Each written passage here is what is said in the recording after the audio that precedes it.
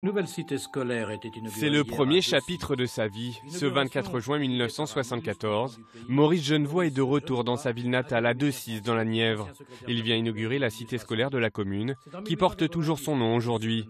L'enfant du pays qui a pourtant vu bien pire est touché par cette attention. Maurice Genevoix, alors qu'il dévoilait la plaque du nouveau centre scolaire, murmurait à sa femme ces mots assez inattendus venant de lui Ne pleure pas ou je vais me mettre à chialer.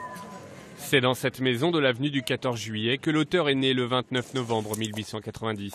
Il y vivra un an avant de rejoindre le Loiret, un court passage qu'il n'a jamais renié, qu'il a même profondément marqué, comme la cité nivernaise, et que l'on retrouve souvent dans ses écrits.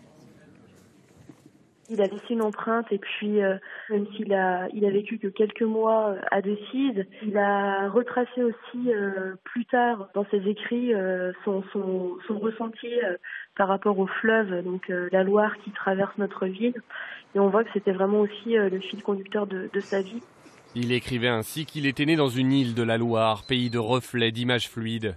Dans les librairies, comme ici à Dijon, ses ouvrages sont en bonne place. Lui, le prix Goncourt 1925. Mis au programme des classes de 4e, il reste méconnu.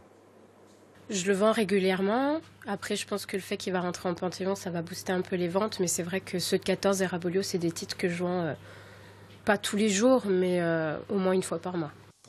Avec son entrée au Panthéon, l'histoire de cette plume de la Grande Guerre n'a donc pas fini de vivre.